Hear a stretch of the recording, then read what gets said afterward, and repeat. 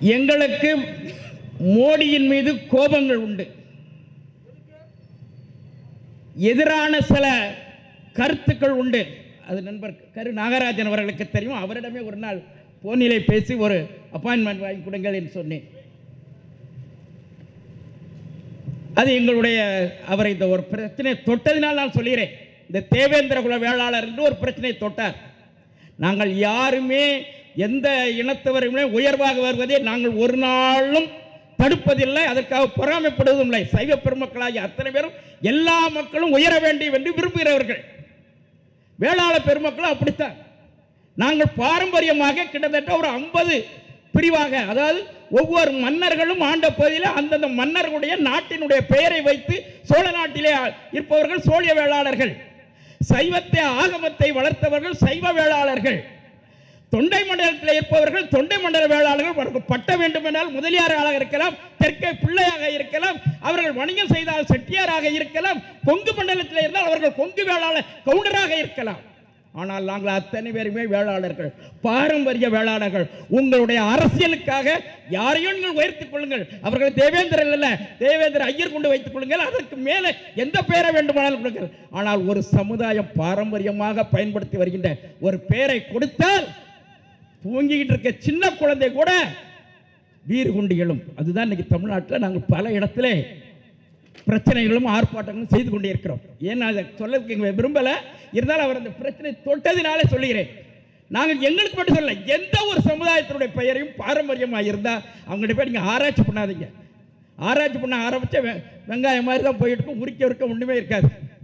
ஏனென்றால் உங்களுக்கு ஏற்கனவே ஒரு பாடம் குஜராத்திலே நீங்கள் ஒருவருக்கு பிராமணர் என்று ஜாதி பெயரை சட்டத்தால் கொண்டு வந்து அதை திரும்பவும் வாபஸ் வாங்கியிருக்கிறீர்கள். ஆகவே தயவு செய்து இந்த சாதி பிரச்சனைக்குள்ள எந்த அரசியல் கட்சி போகுதுன்னா அவங்களுக்கு ஏதோ ஒரு தோல்வி பயம் வந்துடுச்சுன்னு அர்த்தம். அதனால் தயவு செய்து இந்த ஜாதி பிரச்சனைக்குள்ள உங்களை மாதிரி ஒரு பெரிய இயக்கம் ஒரு உலகமே போற்றுகின்ற ஒரு தலைவர் இதில் வந்து ஈடுபட்டது எங்களுக்கெல்லாம் மிக மன வருத்தத்தை இருக்கிறது. அது மன வருத்தத்தில் நான் இங்கே உங்கள் மூலத்தில் சொல்லிக் கொள்கிறேன். நல்ல நண்பன் இது ஒரு பாடமாக இருக்கட்டும். இது இப்போ பார்லிமெண்ட்டில் பில் வச்சிருக்கிறாங்க. இது பாஸ் ஆகுமா பாஸ் ஆகாதா? அது அடுத்த பிரச்சனை. இருந்தாலும் உங்களை மாதிரி ஆட்கள் அதை தலைமைக்கு எடுத்து சொல்ல வேண்டும். எந்த ஒரு சாதியினுடைய பெயரையும் புதுசாக யாருக்கும் கொடுக்க வேண்டாம். அது அவருக்கு கேட்கிட்ட ஒரு புது பேராக இருந்தால் கொடுங்க. இப்போ நாங்கள் சங்கங்களை பதிய பண்ண போவோம். அப்போ ரிஜிஸ்ட்ரேஷன் என்ன கேட்குறான் ஏற்கனவே இந்த பேரில் ஏதாவது சங்கம் இருக்கான்னு கேட்பான். இருந்துச்சுன்னா கொடுக்க மாட்டேன். அப்போ வேற ஏதாவது இதில் இல்லாத ஒரு பேரை கொண்டு வாம்பா அப்படி கொடுத்தா உடனே ரிஜிஸ்டர் பண்ணுறாங்க தானே அரசாங்க ரூல் அதே மாதிரி தான் எல்லாத்துக்குமே. எந்த ஒரு புதுசாக வர்றவங்க நாங்கள் நாலு பேர் இணைஞ்சு புதுசாக நல்லா வரட்டும். உயர்வா உயர்வா வரட்டும். எஃப்சியாக வரட்டும். பிசியா வரட்டும். அதை பற்றி யாருமே இல்லை. நம்ம ஒரு நாட்டில் சாதாரண கீழே இருக்கிறவங்களாம் மேலே வர்றது தான் ஒரு அரசாங்கத்தினுடைய கடமை. வரட்டும். ஆனால் ஏற்கனவே ஒருவர் பயன்படுத்திக்கிட்டு இருக்கிற பேரை நாங்கள் எங்கள்கிட்ட அதிகாரம் இருக்குன்னு நீங்கள் வலுக்கட்டாயம் பண்ணால் அதற்கு காலம் பதில் சொல்லும். அவ்வளவுதான். என்னுடைய எங்களுடைய பிரச்சனை இங்கே தொட்டதுனால நான் இல்லை இல்லாவிட்டால் நான் இந்த எங்களுடைய ஆதங்கத்தை கொடுத்திருக்க மாட்டேன். ரெண்டு. இந்த பத்து பர்சன்ட் இடஒதுக்கீடுக்கு நீங்கள் எப்படி வடக்க பிராமண கூட்டமைப்பு போராடுதோ அதே மாதிரி தெற்க திருநெல்வேலியில் சைவ பெருமக்கள் கூட்டமைப்பு போராடிட்டு இருக்கு. அதனால ஒரே ஏன்னா இந்த இதில் பாதிக்கப்பட்ட பிராமணர்கள் மட்டுமல்ல சைவ வேளாளர் பெருமக்கள் பதிமூணு பதினாலு பிரிவு இருக்கு. சைவ பிள்ளை திருநெல்வேலி சைவ பிள்ளை தஞ்சாவூர் சைவ பிள்ளை ஓதுவார் தேசிகர் நாயனார் கார்காத்த வேளாளர் நாஞ்சில் நாட்டு வேளாளர் இந்த மாதிரி அதர் தொண்டை மண்டல வேளாளர் ஆதிசைவ வேளாளர் சைவ முதலியார் தொண்டை மண்டல ஆதிசைவ முதலியார். இப்படி ஒரு பதிமூன்று பிரிவுகள் இந்த இடஒதுக்கீடு கொள்கை கொள்கையாலே பிராமண சகோதரர்கள் எந்த அளவுக்கு பாதிக்கப்பட்டிருக்கிறாரோ அந்த அளவுக்கு சைவ பெருமக்களும் பாதிக்கப்பட்டிருக்கிறார்கள். இவர்கள் என்ன பாவம் செய்தார்கள்? ஏன் இவர்களுக்கு கொடுக்க மறுக்கிறீர்கள்? நீங்களும் அந்த கூட்டணியில் தானே இருக்கிறீர்கள்? எத்தனையோ காரியத்தை மிரட்டி ச- சாதிக்கிறீர்களே. இதை உங்களால் முடியவில்லையா?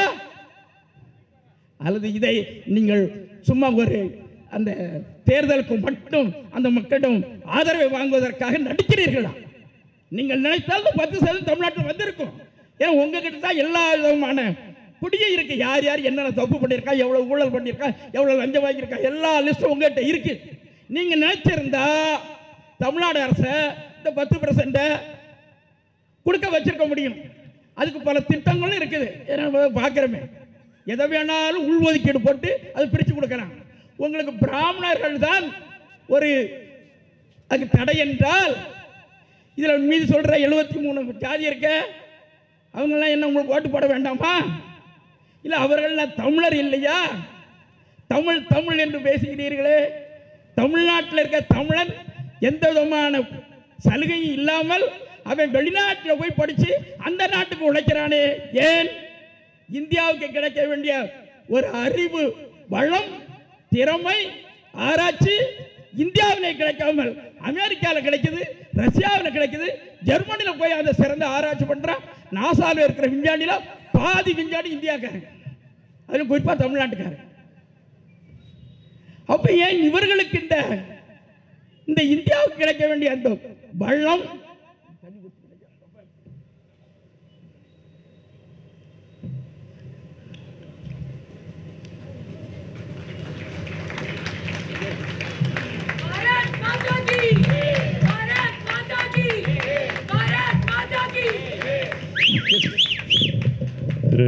வெல்லூர் இப்ராஹிம் அவர்கள் இங்கு வந்திருக்கிறார். அவரை வருக வருக என்று உங்கள் அனைவர் சார்பிலும் வரவேற்கிறோம்.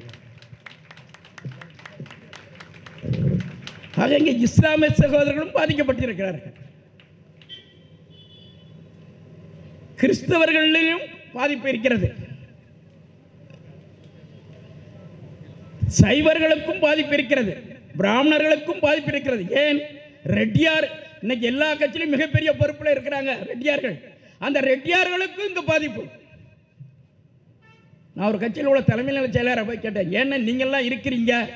உங்கள் சமுதாயத்தில் உள்ளவன் பூரா எவ்வளோ கஷ்டப்பட்டுக்கிட்டு இருக்கிறான். ஏன் நீங்கள் சொல்லக்கூடாதான்னா? அது அரசியல். எனக்கு கொடுத்துருக்க பதவியை மட்டும்தான் நான் செய்ய முடியும். இதுக்கு மேலே நான் ஒன்றும் செய்ய முடியாது மீனாட்சி சொல்கிறாங்க ஆக எல்லாருக்குமே ஒரு சுயநலம். நாம் எப்படியாவது நம்ம கட்சி ஆட்சிக்கு வரணும். அதில் நமக்கு ஒரு பெரிய பதவி வரணும். நம்ம குடும்பத்துக்கு ஏழு ஏழு தலைமுறைக்கு ஒரு ஆயிரத்தி ஐநூறு கோடிக்கு சேர்க்கணும். இதுதான் எல்லாருடைய நோக்கமாக இருக்கிறது தவிர இந்த சமுதாய மக்களை பற்றி கவலைப்படுகிறவர்கள் ஒரு சில அரசியல்வாதிகள் தான் இருக்கிறார்கள். அப்பேற்பட்ட அரசியல்வாதியை நம்ம ஆதரிக்க மாட்டோம் ஓட்டும் போட மாட்டோம் அவன் டெபாசிட் கூட வாங்க மாட்டான். இதானே தமிழ்நாட்டுடைய நிலைமை. கொள்ளையடிக்கிறவர்களை ஆதரிப்போம். இந்த சமுதாயத்துக்காக உழைக்கிறவனை யாருமே கட்டுக்க மாட்டோம். இந்த நிலையை நம்ம எல்லாம் மாற்றணும்னா இந்த பிராமண கூட்டமைப்பால் மட்டும்தான் முடியும். நீங்கள் நினைத்தால் தமிழகத்தின் தலைவிதியை மாற்ற முடியும். அது எப்படி மாற்ற முடியல? ஆனால் இதில் இதில் அரசியல் மேடை இல்லை ஏன்னா நான் அரசியல் பேசவும் வரல. நான் எந்த அரசியல் கட்சியை சார்ந்தவனும் கிடையாது. எனக்கு திமுகவும் ஒன்று தான் அண்ணா திமுகவும் ஒன்று தான் பிஜேபியும் ஒன்று தான் நல்லது செய்தால் பாராட்டும். எனக்கு மோடி மேலே வெறுப்பு உண்டு பிஜேபி மேலே வெறுப்பு உண்டு. ஆனால் ரெண்டு காரியத்தில் அவர்கள் மீது எனக்கு பாராட்டுகள் உண்டு. யாருமே செய்ய முடியாத ஒரு பெரிய வரலாற்று சாதனை மோடி செய்திருக்கிறார். யாராலும் செய்ய முடியாது. இதற்கு முன்னால் இருந்த பிரதமர்களாக இருந்தாலும் சரி இனி பின்னால் வருகிற பிரதமர்களாக இருந்தாலும் சரி அவர் செய்த அந்த ரெண்டு காரியத்தை வேறு எவராலும் செய்ய முடியாது. ஒன்று காஷ்மீர். இந்த காஷ்மீரை கை வைக்கணும்னா எல்லா பேரும் அஞ்சுவான் ஆனால் துணிஞ்சு கை வைத்தார். இந்தியாவில் எல்லாருக்கும் ஒரு நீதி காஷ்மீரில் உள்ளவனுப்பட்ட ஒரு நீதியா? வாங்க அண்ணன் வாங்க சேகர் அவர்களே. ஆகா. சரி. நம்மிடையே திரு எஸ் வி சேகர் அவர்கள் வந்திருக்கிறார். அவரை வருக வருக என்று உங்கள் அனைவர் சார்களும் வரவேற்கிறேன். ஜோராக கைத்தட்டா எஸ் வி சேகர் அவர் ஒரு சிறந்த போராளிங்க. எஸ்சி சேகர் ஒரு சிறந்த போராளி. அதே மாதிரி இன்னொரு பெரிய காரியம் மகத்தான காரியம்.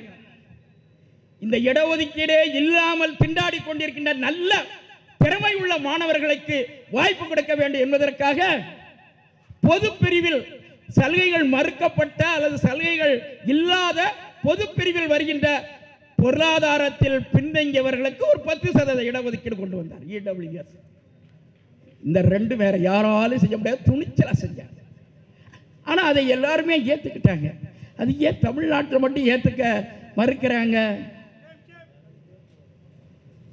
ஒருவேளை நான் சிலர் பேசும்போது என்ன சொல்கிறாங்கன்னா நேரடியாகவோ மறைமுகமாக சார் இது திராவிட பூமி. இங்கே திராவிட இயக்கங்கள் தோன்றிய பூமி. இங்கே அதனால் நாங்கள் பிராமணியத்தை எதிர்த்து தான் திராவிட இயக்கங்கள் தோன்றிச்சு. அதனால் மீண்டும் பத்து சதவீதம் கொடுத்தா அவங்க மொத்தமே ஒன்றரை சதவீதம் ரெண்டு சதவீதம் தான் இருக்கிறாங்க. இந்த பத்து சதவீதம் கொடுத்தா மீண்டும் அவர்களுடைய ஆதிக்கம் ஏற்பட்டுரும். நாங்கள் அதை அனுமதிக்க மாட்டோம். இதை இடைய தலைவர் சொன்னாங்க. ஐயா அவங்களுக்கு மட்டும்தான் அதில் இருக்காங்களா? மொத்தம் பதினேழு சதவீத பேர் இந்த இடஒதுக்கீடு இல்லாமல் பொதுப்பட்டியலே இருக்கிறார்கள். அவர்களை விட்டால் மற்றவங்கள்லாம் உங்களுக்கு ஆளாவே தெரியலையா? ஒன்று அதை அப்படியே வச்சுக்கணும். ரெண்டு இந்த பிராமணர்களை நீங்கள் எதிர்க்கிறீர்களே உங்களுக்கு வைத்த வலி வந்தால் அல்லது ஏதாவது நெஞ்சில் வலி வந்தால் நாங்கள் இந்த பிரிவை சார்ந்த டாக்டர்கிட்ட தான் போவேன்னு யாராவது சொல்கிறியா அப்போ மட்டும் நல்ல மிகச்சிறந்த டாக்டர் பொரியனா அல்லது வேற பிராமண இயக்கத்தில் உள்ள சேர்ந்த ஒரு நல்ல டாக்டர். மன்னிக்கணும் உங்களை மூணாவது வாட்டி இதை தடுக்கிறேன். சமயின் காரண சமயத்தின் காரணத்தால் தப்பாக எடுத்துக்க வேண்டாம். ஓமாம்புலியூர் நம்ம நம்ம நடுவில் இருக்கார். அவர் வந்திருக்கார் இங்கே. அவர் எப்படி வந்தார் தெரியும். ஜோரா கரகோஷத்துடன் வரவேற்கிறோம். ஆக தனக்கு ஒரு நோய் வந்தால் ஆபரேஷன் பண்ற டாக்டர் நல்ல திறமையான டாக்டரா இருக்கணும். ஆனால் டாக்டருக்கு கொடுக்கக்கூடிய சீட்டு மட்டும் அவங்களுக்கு கொடுக்கக்கூடாது. என்ன நியாயம்? இன்னைக்கு எலெக்ஷன் வந்துச்சுன்னா யாரை தேடி போகிறீர்கள்? இன்னைக்கு ஒரு அஞ்சு ஸ்டேட் எலெக்ஷனுக்குள்ள ஒரு நாலு ஸ்டேட்டுக்கு மிகப்பெரிய ஆலோசகராக இருக்கிறவர் ஒரு ஐயர். ஐயர் சொல்றதான் அந்த கட்சி தலைவர் கேட்கிறாரு. உங்களுடைய எலெக்ஷனை வியூகம் வகுத்து உங்களை ஜெயிக்க வைக்கிறதுக்கு ஐயர் வேணும். ஆனால் ஐயருக்கு ஒதுக்கீடு கொடுக்க கூடாது இது என்ன நியாயம்? நீங்க அப்படின்னா ஐயரை வச்சு பிளான் போடாதீங்க. நீங்க யாரை நினைக்கிறீங்களோ அவங்கள வச்சு ஒரு பிளான் போட்டு அதில் ஜெயித்து வாங்க பார்க்கலாம். மமதாவை கேட்டாலும் இவரை தான் போடுறேங்குது. இங்க ஒரு பெரிய தலைவரை கேட்டாலும் அவர் தான் எங்களுக்கு ஆலோசனை பஞ்சாப்ல உள்ள முதலமைச்சர் கேட்கவே இல்லை உனக்குமா. அமைச்சர் அந்தஸ்து தந்துட்டேங்கிறார். ஒரே ஆளு மூணு ஸ்டேட்டில் மூணு பதவியில் வர்றார் யார்? பிரசாந்த் கிஷோருங்கிற ஒரு ஐய பையன். அவர் போடுற பிளான் தான் நிறைய ஸ்டேட்டில் ஜெயித்துக்கிட்டு இருக்குதுன்னு சொல்கிறாங்க அது அது அது தே- அது வரக்கூடிய தேர்தல் சொல்லட்டும். ஆனால் அவரை நம்பி நீங்கள் போகிறீர்கள் அல்லவா? உங்களது நம்பிக்கைக்குரிய ஒரு சமுதாயத்தை சார்ந்த அறிவாளி அவன்தான் என்கிறதை ஒத்துக்கொள்கிறீர்கள் அல்லவா? அப்படியெல்லாம் அறிவாளின்னு ஒத்துக்கிறீங்க. ஆனால் அந்த அறிவாளியை மட்டும் மேலே படிக்க வைக்கிறதுக்கு அவனுக்கு சீட் இல்லை. டாக்டர் ஆகிறதுக்கு வழி இல்லை ஆராய்ச்சி பண்ண ஆராய்ச்சி படிப்பில் வழி இல்லை அவன் அழுத. அந்த கண்ணீர் உங்கள் குடும்பத்தை சும்மா விடுமா? அவனை அமெரிக்காக்காரன் கூட்டிட்டு வா நீ அங்கே வாயா. உனக்கு நான் உனக்கு ரிசர்ச் கொடுக்குறேன். நீ இங்கே வாயா டாக்டரேட் பட்டமத்துக்கு அப்புறம் மட்டும் சொல்கிறாங்க ஏன்னா இன்னும் சொல்கிறேன் இன்னைக்கு அமெரிக்காவில் துணை அதிபராக வந்திருக்கிறது தமிழ்நாட்டை பூர்வீகமாக கொண்ட ஒரு அம்மா ஹாரிஸ்.